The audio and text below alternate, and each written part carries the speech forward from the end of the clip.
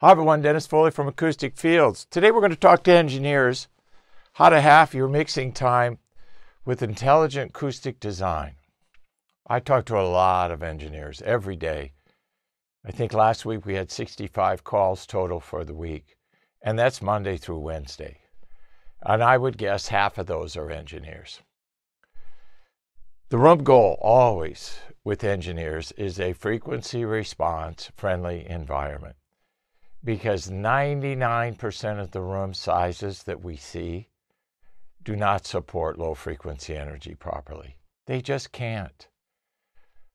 40 cycle, 30 cycle energy, 30, 40, 35 feet long, 40 cycle energy, 30 feet long. You don't have those kind of dimensions, and who does? You're going to have pressure. You're going to have pressure problems in the room, and they're going to oscillate through the room and you can't position your way out of them. You can't put your speakers here or your monitoring position there and minimize those because these things oscillate through our room. Look at the graphic here for pressure. See how it oscillates through the room? In this particular graphic, the seat is in a, a null, so he's not hearing certain things. If he's positioned in the peak, he's hearing too much. So they attenuate and they exaggerate, both things that we do not want, right? We must manage this low frequency pressure first and foremost. You have to focus on the mids. People all the time focus on or focus on the lows. People all the time focus on the mids and the highs. But it's the low frequency pr- pressure issues that also contribute to the middle and high frequency harmonic issues. So we got to go to the source of the problem first. Obviously, the source of the problem is the room. We should get rid of the room. We can't do that. But we have to live in the room. So we have to treat the issues that the room produces. And we have to start with low frequency pressure first. Low frequency fundamentals produce middle and high frequency harmonics. They're all related. It's all one big extended family starting with the nuclear family, which is the mother and the father, if you will, which are the low frequencies, the 30s, the 40s, the 50s, 60s. Those are the problematic areas that we have to deal with. And 99% of rooms that we see can't handle that energy. So, what are we going to do? Okay. We got to get that energy out of the way. We got to keep resolution as our ultimate goal and definition. If we have less distortions to work around, we're going to have better workflow. We're going to move through things faster. Our mixes are going to come into focus a lot faster. We're, we're not going to have to say, ah, the low end's horrible. Let's figure out how to fix that. That all takes time, right?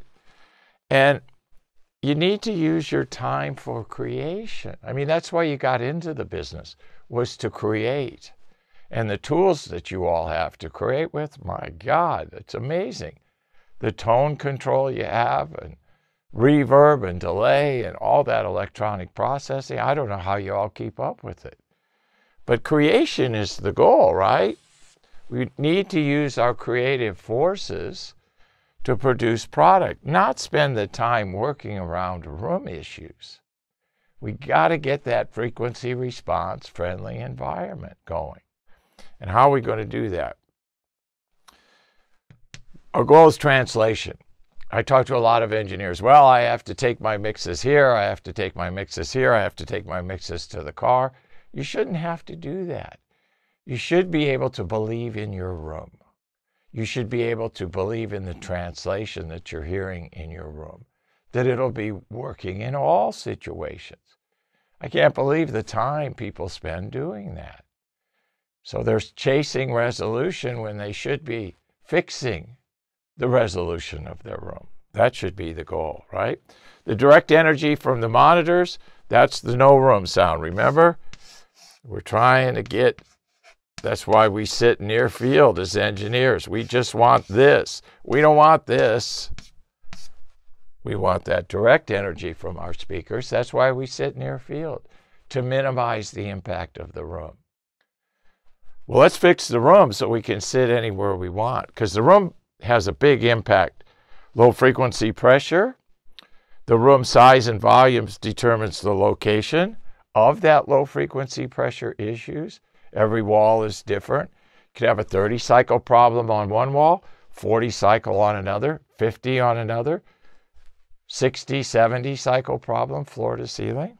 Okay.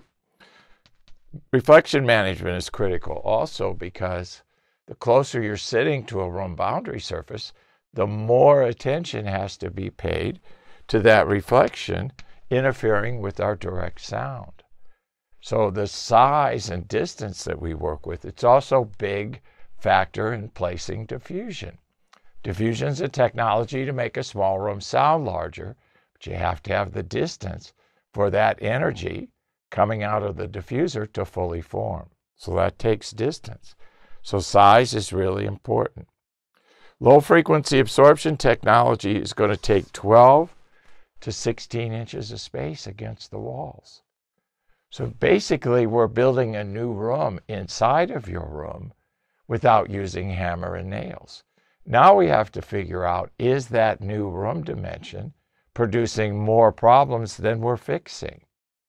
So we have the outside dimension of the room, which we call OD, and then we have the ID, the internal dimension, which is after treatment.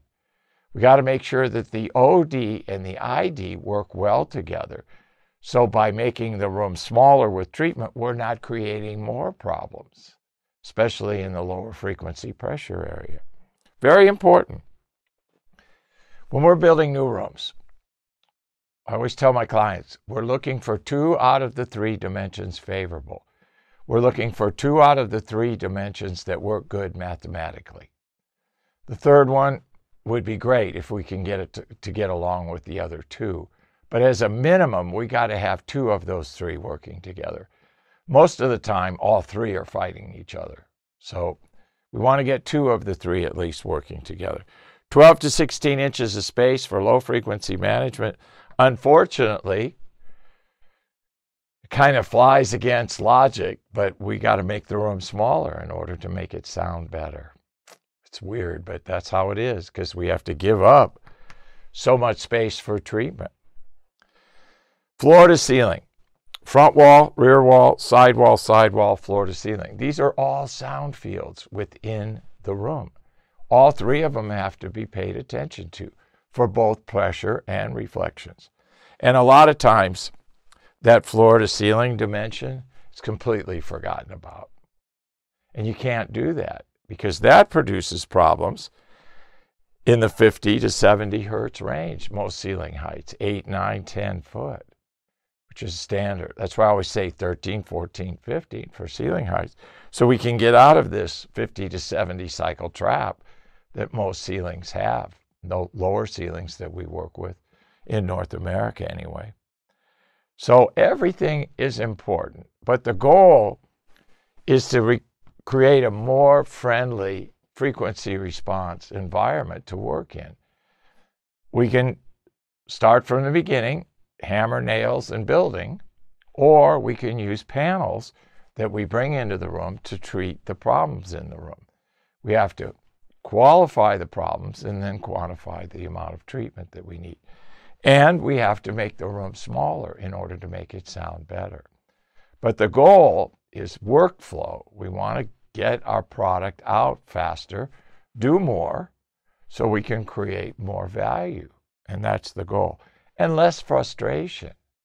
I mean, you want to be able to sit in your mixing chair and know that what you're doing and what you're hearing in the mix is actually there and not the room distortions that you have to work in. Best room to work in is no room. If you could take your rig outside and the only surface area that you have would be the earth that you're sitting upon, that would be the best situation. But unfortunately, we don't halve those kind of uh, environments anymore to work in. Too many people in the world, it's too crowded and it's way too noisy. So, engineers, how to have your mixing times with intelligent acoustic design. Start with the low frequency pressure problems first, work your way up, middle frequency issues, and then the high frequency issues. And select a room size that will allow you to give up that 12 to 16 inches of space along the walls to treat and, and not produce a new room size that causes more problems. Hope this helps. Thank you. Thank you for watching this video, and if you liked it, please give us a thumbs up. We also have a newsletter that you can subscribe to, so please do that because we offer special price discounts to only those on our newsletter. And then don't forget about our forum. We have started a forum on our own website where people ask questions, and I usually get a chance every couple days to look at it. There's an interchange between people on the forum, and we'll give you real answers uh, on a regular basis, so that'll help you. Thank you.